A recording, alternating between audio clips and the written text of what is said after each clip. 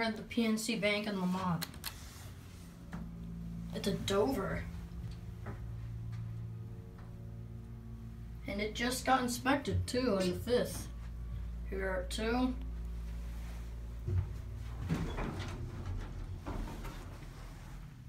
Dover.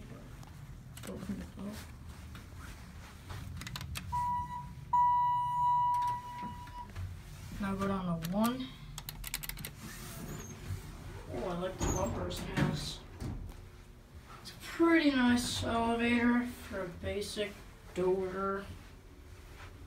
It has a white doors on it. It has two doors. There's your phone.